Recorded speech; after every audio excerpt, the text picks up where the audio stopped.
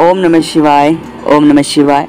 दोस्तों, आप सभी का आपके अपने चैनल में एक बार फिर से आपका बहुत स्वागत है और आपका बहुत आभार है। आप जो प्यार और सपोर्ट आपके चैनल को कर रहे हैं, आपका दिल से धन्यवाद दोस्तों। आप हमेशा खुश रहें, आप हमेशा मुस्कुराते रहे, बस मेरी यही दुआ है। आप हमेशा अपनी किस्मत को कोसते रहते हैं कि हमारी किस्मत में तो कुछ अच्छा लिखा ही हुई नहीं है।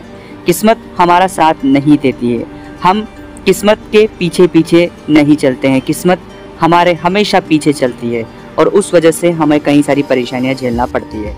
ऐसे कई सारे कमेंट्स आपको मुझे मिलते रहते हैं। लेकिन मैं आपसे एक बात कह देना चाहता हूँ कि आप अपनी किस्मत को बदलने के लिए एक मंत्र का प्रयोग कर सकते हैं और उस मंत्र का प्रयोग आपको कैसे करना है, ये विस्तार पूर्वक इस वीडियो से आप समझ लें। और विद इन सेवन डे या ग्यारह दिनों के अंदर अधिकतम आप अपनी किस्मत में एक सकारात्मक बदलाव पाएँगे।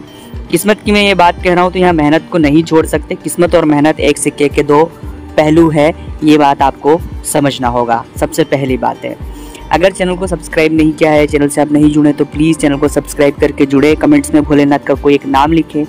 और अगर अपनी कुंडली का विश्लेषण आप हमसे करवाना चाहते हैं तो स्क्रीन पर नंबर चल रहे आप व्हाट्सएप पर अपॉइंटमेंट लेकर हमसे बात कर सकते हैं। अब आते हैं मंत्र पर, किस मंत्र का प्रयोग हमें कैसे करना है। सबसे पहले तो आपको एक काला कपड़ा लेना है।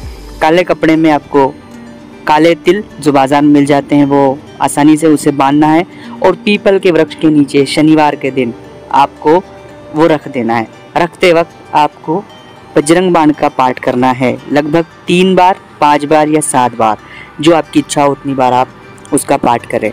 ऐसा आपको कम से कम तीन शनिवार करें, आपको बहुत फ़ायदा होगा, आपके जीवन में बहुत सकारात्मक बदलाव आएगा दोस्तों। अगर आप इसे करते हैं तो आपके जीवन में एक सकारात्मक और एक बहुत बड़ा बदलाव आप कुछ ही दिनों में महसूस करेंगे। साथ ही ओम नमः शिवाय का जाप भी करें।